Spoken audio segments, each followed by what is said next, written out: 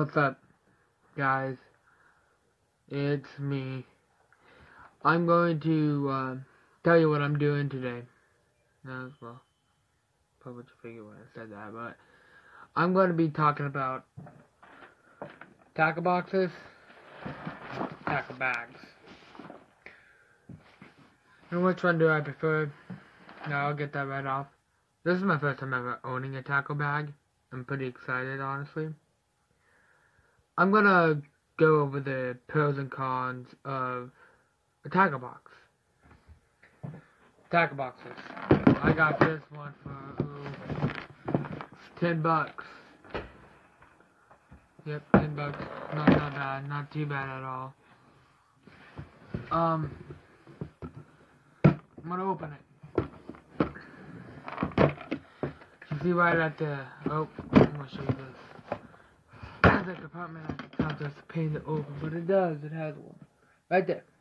Like that would where you keep your pocket knives. You know, I keep my receipts up there too, because every time I buy a new tackle, I always keep receipts. Just me, I like to keep track of my stuff.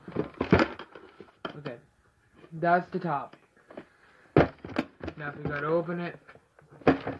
Oh, I still got some jigs. Got them in. I just cleaned it out today. There they all is. Shelves. Now, let's go over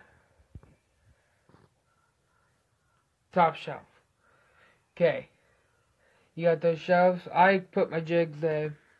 This is the second shelf as well. I put my hooks, weights, and then the bottom, which is nice to have this bottom because it catches stuff, you know.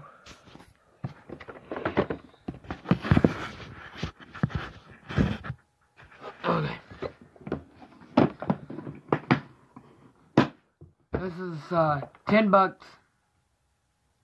Not too bad.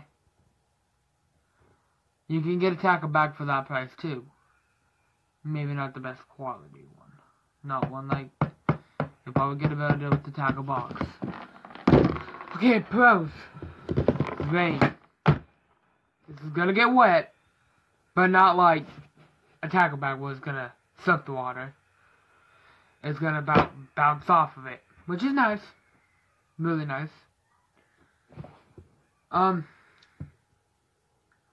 that's a pro. A con, carrying it. This weighs I have about, I don't know, 20 pounds, maybe 15, 20 pounds in one hand, carrying it around lunging around like this. So if I'm going pond fishing and I gotta walk to a fishing pond, I don't like it because I gotta carry it. Plus, two rods and all that. Now, storage is probably better. And oh, quality. You could probably drop that tackle box a dozen times before it breaks. Mm, okay, moving on. You got. Uh, let me think of a con. Hard to find a good one.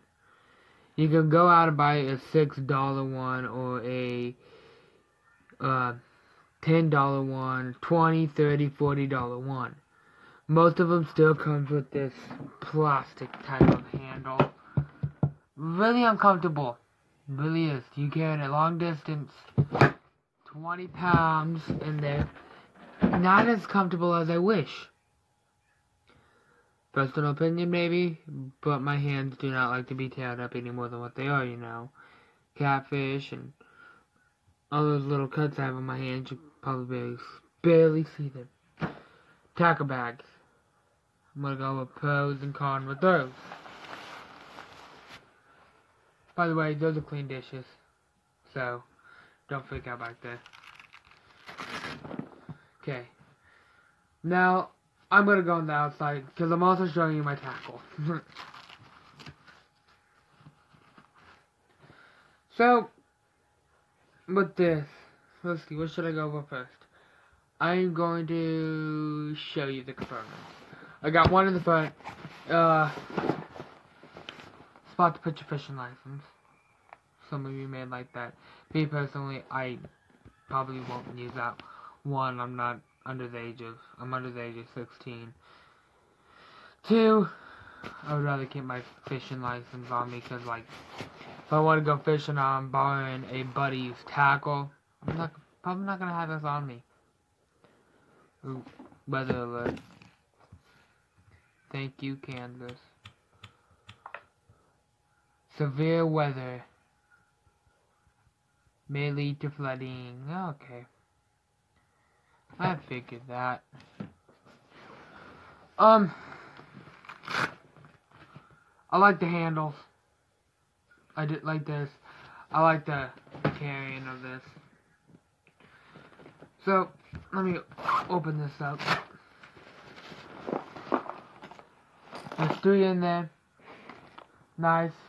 20 pounds. A little, little lighter because you don't have the, the heavy, the box itself weighs about a pound. Ooh, I the heaviest one I put. My jig. And this is more jig. Okay, that's what it looks like on the inside empty. You guys can't see it. Okay. Right on the side is where I like to put my worms. I'll go over my baits with you. Okay, let's start out with, they call these power baits. Most of you knows what they is. Um, it wants you to use a weedless wide gap hook. Those, okay. I have one of those. Never caught a fish off one of those. That's why I don't get them.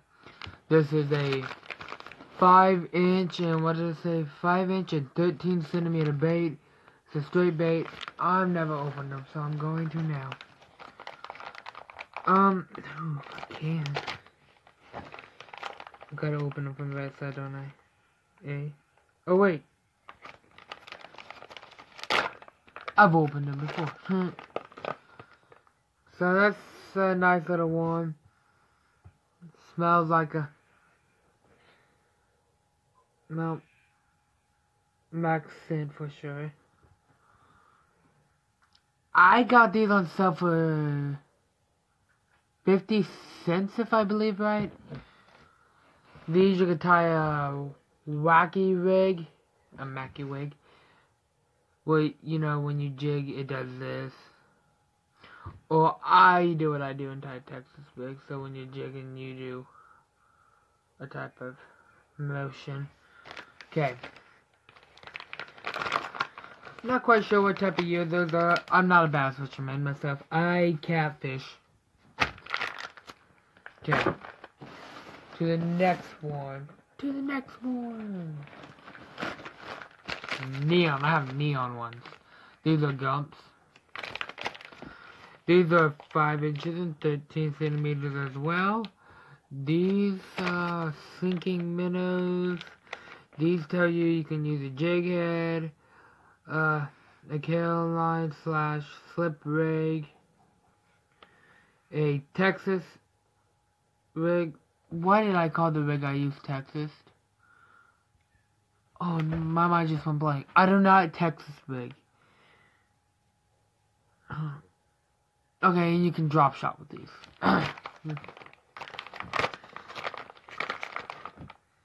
okay, these got a horrid smell. But they look nice. They look sort of like a neon eel. I think I've caught a six pound bass off these. So they're nice. Really nice. I personally, I like them. But the thing is, I'm gonna waste one. Fish bites on it. It pulls, it pulls, it pulls. If it's a good fish, it's gonna break it right in half. After it's been soaked in water. Stretchy. By the way. But after so much stretch, I just broke that and I was really trying to. Boom. I wasted one for you guys. I can still use this. I can still use this. So I'm putting it back in the bag. Rule around here, never waste bait. Or jigs. You find you find something on the ground, first of all, trash and all that, pick it up anyway, throw it away, be a good citizen. Second of all, if it's the hook and stuff, you can use those. Okay, there's a bunch in here, but they originally came with these red. Ooh, this is a 7 inch. I broke that one in half. Okay, 7 inch. I think I broke all in half. Okay. 7 inch. See, yeah, it's way bigger than my phone, which is 6 inches. 7 inch. It does this twist style. These are meant to go on jig heads. Power worms, they. Ooh. I thought the neon smelled bad. These smell wicked. Okay. Enough going over my worms because I have 10 minutes in this video. Anyway. Intro and outro. It's gonna be like 40 minutes. Okay. Back. Now I just switched my camera around. Now we're gonna go over the Oh, oh, come on. I'm gonna go over one of each. I call this more my plastic, cheaper ones. This is not a cheaper one, but I ran out of room this one. Okay. This is a spinner. Mine with blanket. Rooster tail. These are really nice. I've caught lots of big fish on these. Minnows, I've only ever caught one fish off these. And it was, uh, snagged. Okay, heads. I hope. I'm assuming that you guys know what these are. These are worm hooks for plastic worms. These are a bunch of random worms. Okay.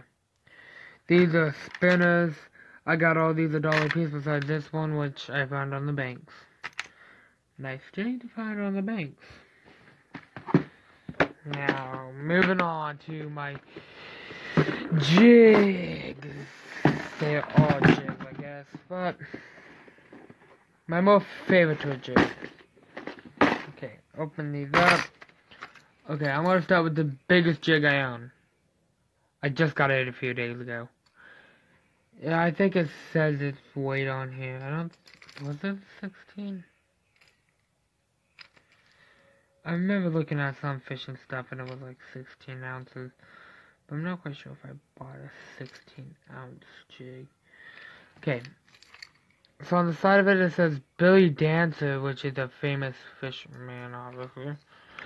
Okay, fat fish shad. I like I like that on it because obviously it's a fat fish shad. Moving down, my minnow, my minnow dagger. First, uh, swim like a minnow. Okay. They call this the cream crappie. I'm not quite sure what it does. Now flipping into the other side. Grasshopper. Pretty explanatory. This, I have not used this yet. I think it's still a virgin when it comes to water. This is a floater. Caught a fish off of it already, and I just found it about a month ago. It floats. It's top water. I was using it in some mossy water. Um, it's pretty see-through. I don't think it's supposed to float. Guess what? I found this one on the side of a bank. Alrighty, ooh, rattlers, my favorite. I've caught some of the biggest fish off my rattlers. My favorite rattler, I lost. Ever. This is came in an 8 pack. Okay. That came in an 8 pack. This came in an 8 pack. This this popper came in an 8 pack. Not this one, but this one. This one, this one, this one. Those two came in an 8 pack. And not not that one. Okay. Rattlers. I am not caught a fish off this one yet. This rattler. I've had a similar looking one. I lost it at Brown County State Lake. My favorite jig ever, I lost it. Looked sort of like this, but not as much black. I caught a two pound crappie off it, six pound bass, five pound bass, and you know, all that. So, put my raspberries back in here. Popper. Not caught a fish off either of these poppers. This is a pretty old but new popper. This is a pretty new popper, which I got in that 8 pack. Okay. These are also deep divers, I believe. Okay. I like this one, and I like that one. I have not used either. There's one of my warm hurts I was looking for. Give me that. That goes in a different box. They call this the dying shad because it swims like it's dying. It swims on this side and it's little action. Not little action, a lot of action. It swims like a dying fish. I don't know if you guys have ever seen a dying fish. They normally swim on one side. Normally about a $10 jig. I got it for 3 bucks at the flea market. This jig, I had so much faith for it. I ended up giving it away to my brother. He's yet to get it. If it's still his, I don't want it. I need to bring it over to him sometime. Okay, that is all of my hard plastic jigs. Weights and fun stuff. I always keep a lighter in my tackle box. I always keep weights in my tackle box. Smash weights, I use those for bass, crappie. That came out of my grandpa's tackle box, so I keep it everywhere. Bells, well, little bells. Lighter, keep a lighter in my tackle box. One, I take my tackle box everywhere I go camping. Two, fishing.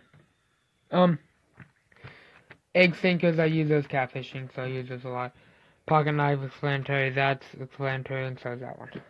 Receipt. Receipt. Like I said, I always keep receipts in my tackle box. Okay. So now let me open this up to where I pull out all my hooks and swivels. I got this in a $15 Easter basket. basket. Um, Go outside. um, yeah, as I got all my gear out, I'm gonna talk about the pros and cons. So you just seen that I pull a little bit of tackle out, not too much. The compartments it has, I want to talk about it further. The compartments it has, you can hold a lot. Not as much as I hope. Hoped in this little cheap bag. I traded a real plus 10 bucks to get these compartments. Um, what was I gonna say now? Compartments. You gotta go bass fishing, just take one. You don't need to take the whole bag. Gonna go catfishing, take one. Don't need to take the whole bag. Okay. Walk into a pond. Don't know if there's catfish, ca- catfish, or bass. I want to try a little bit of both. That's okay. I just take my strap and put it around my neck and walk it. Or attach these two handles. I'll carry it. Easier to carry 20 pounds with. Way easier. More compartments so you can put more random stuff in your thing. Like more lighters, maybe more knives. I ran out of room. I'm gonna have to personally go out and buy a bigger tackle bag. That's just me. Because I don't have terribly too much tackle. But I do have a terribly little much for this tackle box. So, that's about it. Cons. If you fish in the rain, you're like me. You fish in the rain. That's when the fish love to bite. To better find a good spot for this tackle box bag, it's gonna get drenched. You're probably gonna have to leave it in your your truck or something. That sort of sucks. Now you have to walk back and forth to get different stuff. Annoying. Worth it? It depends. If you fish at an open lake where there's a road right next to it, good. You're okay. It's not gonna kill you that much. You fish at a pond, starts raining, you're a half mile from your vehicle. Your tackle box is drenched. Your bag is drenched. That would be Kansas for you guys. If you here, most of you probably live in Kansas that watch my video. That that tackle bag right there. This with Kansas weather, you cannot predict it. Most weather you cannot predict completely to 100%. So, that's a really heavy con about having one. Pro, easier to carry. Um, I don't see many people with a tackle bag. I always have a tackle box. All my fishing buddies got tackle boxes. Family members tackle boxes. Me, I got a tackle bag. And the good thing about this one, I've never seen this one around ever. This one week I had it, I was ready to exchange it because I was mixing it up with other people's. Mm hmm I do not want to lose $200 worth of tackle in my box. So, you know what I mean. That's about it, guys. Hope you enjoyed this video a little bit. It's probably going to be a longer one, but oh well. Can't kill you too much. Um, like the video. I I'm going to be making social media for this channel. I'm going to probably do Instagram and Facebook or Instagram and Snapchat or all three. I'm not quite sure. I'm probably just gonna do Instagram. I'm probably for sure gonna do Instagram. I'm new to that and I want to learn how to use it better on my own phone. But Facebook is a 50-50. Snapchat is like a 60-40. I'm like 60% sure I'm gonna get Snapchat. Not quite sure. I gotta figure out how to edit my videos a little better and all that. But until then, see you guys later.